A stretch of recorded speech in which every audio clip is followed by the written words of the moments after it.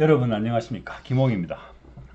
오늘은 제가 며칠 전에 태국에 다녀왔어요. 태국에 국제사진제가 있어서 어, 참가 작가로 참여를 하고 어, 태국에 있는 동안 태국의 시장이라든지 길거리라든지 돌아다니잖아요. 그래서 제가 어, 전시하는 동안은 시간이 없어서 못했고 전시가 이제 예, 기존적인 행사를 하는 날 말고 하루 시간을 빼서 길거리 스냅을 좀 했습니다.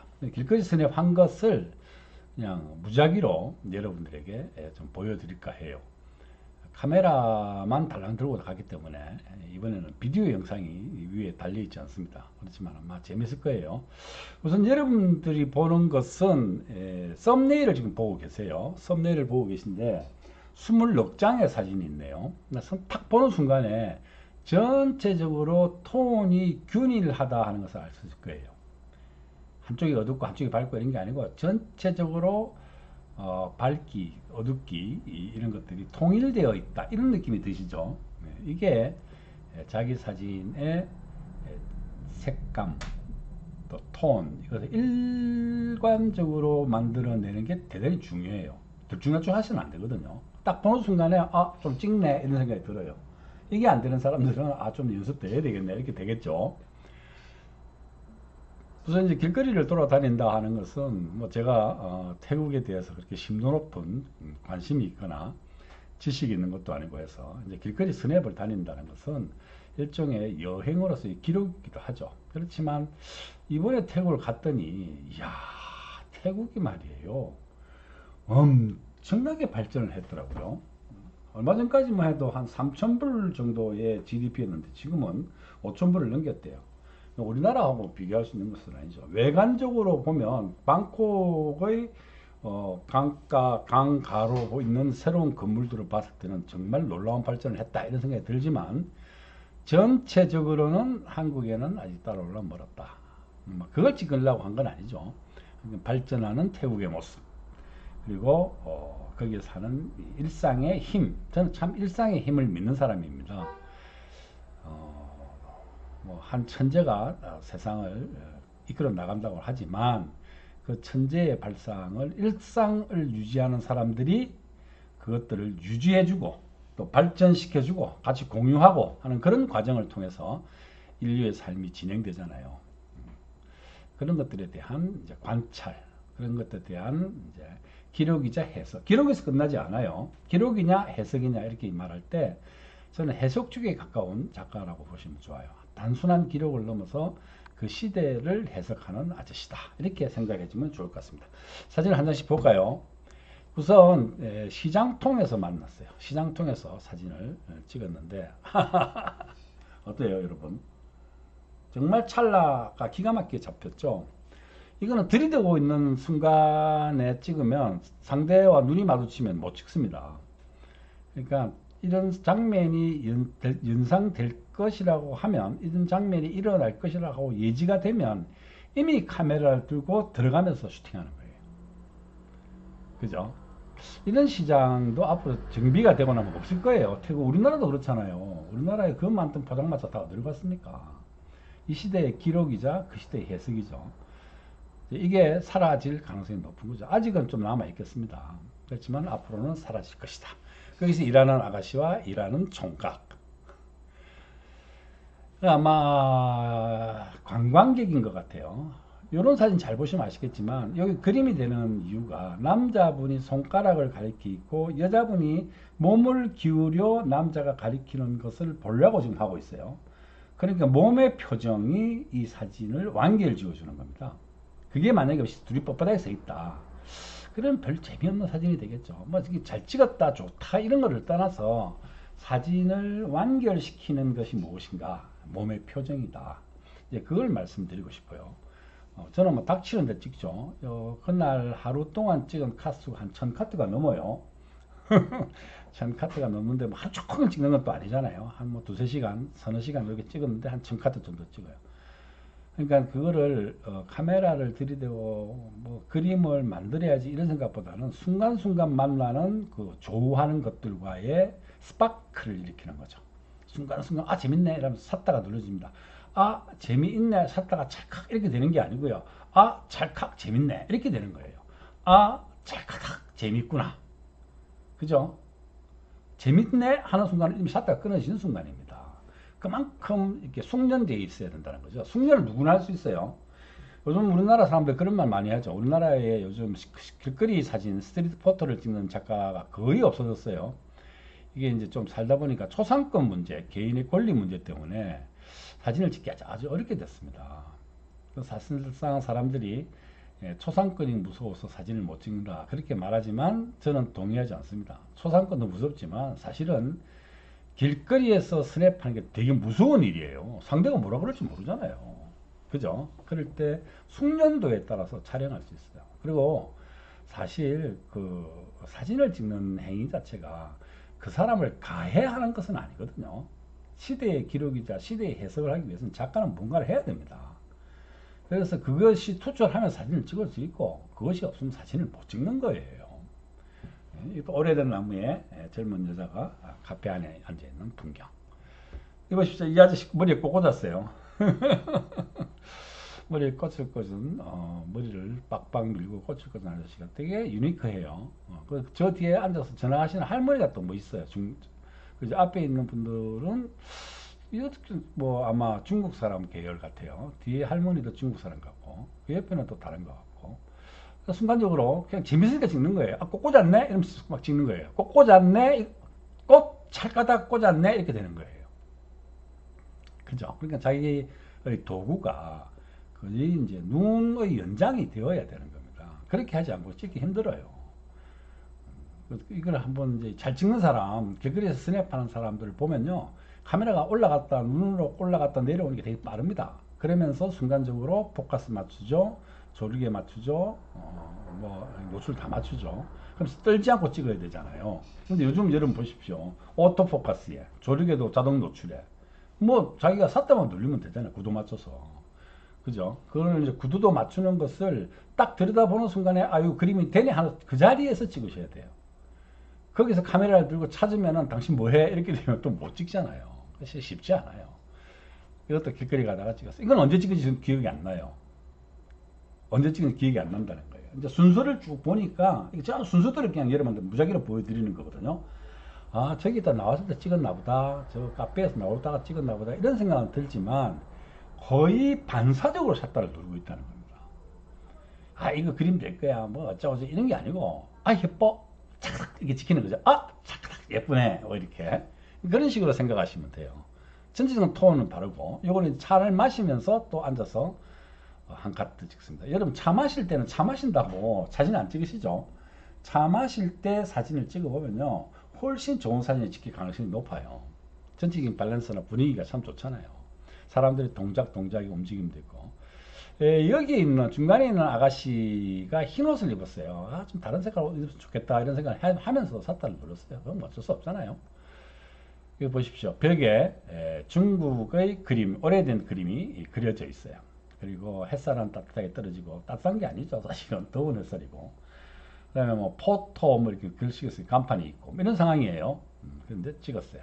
그러니까 대단히 모던한 것과 되게 클래식한 것들이 예, 만나 있는 어떤 그런 태국의 현지 상황. 태국도 화교들이 많이 살고 있거든요. 이제 그런 것들을 암암리에 보여주는 거죠. 어, 여기 왜 다른 나라 그림이 걸려 있어? 이렇게 되는 거잖아요. 그렇지만 그 어, 중국 사람들도 많이 살고 있다는 거죠, 화교들이. 이거는 선앙당 같은 거예요, 선앙당. 뭘 저거를 이렇게 많이 칭칭 감아 놨는지 저걸 찍으면서 옆에 있는 그들의 자가용인 어, 스쿠터 그죠? 아, 볼륨감 있지 않, 습니까 사랑당에 묶어둔 애들이 색색깔이죠. 빨강, 파랑, 노랑, 분홍, 뭐 별의별 게 다 있어요. 그거를 흑도로 처리해서 되게 볼륨감만 드러낸 것 같아요. 거기에 떨어지는 햇살이 참 좋아요. 그죠? 그래서 햇살이 좋으면 저는 사진 찍거든요. 거기 뭐 기분이 그래 좋아요. 저는 사진 찍으면. 이것 보십시오. 이것도 어, 햇살 때문에 찍은 거예요. 이게 뭐 저는 뭐 아주 아름다운 풍경이 있다고 해서 사진 찍으러 가지는 않아요. 그 사람마다 다 다르죠. 풍경 사진을 찍으시는 분들은 그런 거 보면 그거 찍으러 하실 거고 저는 골목길에서 만나는 삶의 햇살, 삶을 다독거려주는 햇살을 만나면 사탄을 누르는 거예요. 스타일이 다른 거예요. 관심이 다르고 근데 그런 분들은 그분 그런 분들의 자기 가치가 있고 저는 이것이 제한테 가치가 있다고 생각이 찍는 거예요. 제가 그런 사진을 못 찍는 것도 아니고 그런데 왜 그런 사진 안 찍니? 나는 이쪽이 훨씬 가슴에 와닿아. 근데 이제 어, 사진은 제가 아무리 멋있는 사진을 찍어도요 모두를 감동시킬 수는 없습니다. 그러니까 자기가 코드 맞는 사람이 감동을 하는 거거든요. 뭔가 그걸 보면서 애틋하고 아, 그래 우리 삶이 말이야 저렇게 애잔하면서도 뿌리를 내리고 그, 그걸 극복해갖고 좌절하지 않고 기적을 일으키지 이렇게 생각하는 사람이 있고 대자연의 풍광을 보면서 호연지기를 느끼시는 분도 있고요. 그렇겠죠. 저도 뭐 대자연 보면 호연지기 느껴요. 그렇지만 카메라를 잘 들이대지는 않죠. 찍기는 찍지만 발표는 거의 없다. 거기에 그렇게 있는 것에 대한 음, 것보다는 발견에 대한 게 저는 음, 더 관심이 있는 것 같아요. 삶의 흔적들을 발견하기, 또 그것을 해석해내기, 또 해석과 더불어 사진이라는 것을 찍으면 바로 기록이 되니까, 그죠? 어, 신혼부부예요. 신혼부부 이제 이제가 될 사람들이죠.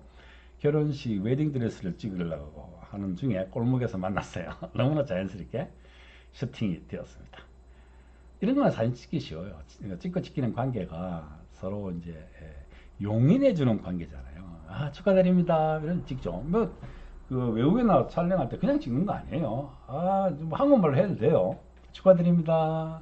엄지손가락 착 들면서, 아, 예. I hope you are very happy. You're gonna be happy. 뭐 이러면서 이제 살짝 착착착 누르는 거죠. 그럼 저 사람이 아 뭐 답도 하기 전에 샷도 누르고 Thank you 그러고 이제 돌아서서 갑니다 사실은. 백화점에서 찍었어요. 무슨 전시하고 있더라고요. 아, 애기가 귀엽지 않아요? 근데 거기서 사람들이 핸드폰으로 기념사진을 찍고 있는 장면. 그죠? 요것만 톤이 약간 달라요. 왜냐하면 그 형광등 불빛 아래서 찍혀 있기 때문에 그럴 거예요. 이것도 보세요.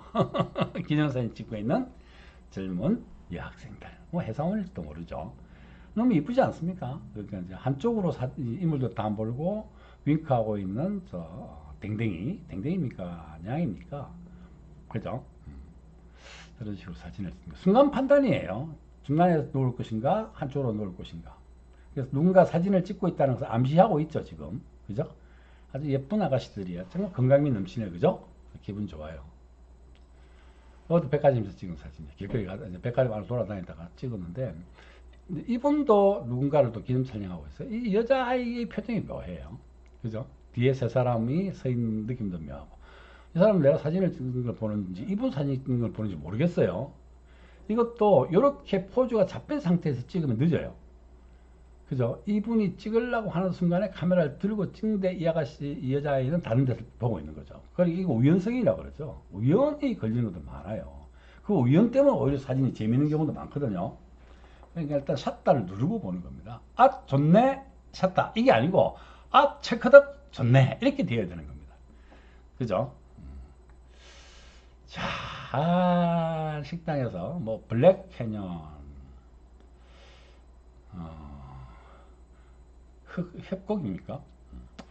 저기서 앉아가지고 뭘 시켜놓고 커피인가 한 잔 시켜놓고 책을 보고 있는 음, 음, 태국의 방콕의 여학생 한유 한 시간이라 그죠? 저것도 백화점이었던 것 같은데 백화점 나왔지 않나? 이건 이제 열차 안에서 어, 나와 내리는 사람들을 내가 탈라고 하다가 찍은 거예요. 지하철이죠, 지하철. 지하철이 육상으로 되어 있더라고요. 음, 도시철도. 어, 이건 찍은 거는, 요, 이것도 여장 찍은데 이 아가씨를 고른 거는요, 어, 이 아가씨가 은근히 배를 내놓고 약간 살집 있는 배. 예, 이게 이제 태국에 예, 지금 이 성장하고 있는 모습과 좀 닮아가지고, 뭐, 아, 재밌네. 이러면서 찍은 거예요. 찍은 게 아니고 selecting 한 거죠. 어, 에스컬레이터를 타고 내려고 타고 다시 저희 어, 여기는 내려오는 사람이 올라가는 사람이잖아요. 어떻게 보면 이렇게 계속 돌아서 이렇게 빙글빙글 돌아 타고 다니는 것 같아요. 그래서 그러면서 갤럭시 2 플립, 어, 플립 5를 팔고 있는 광고.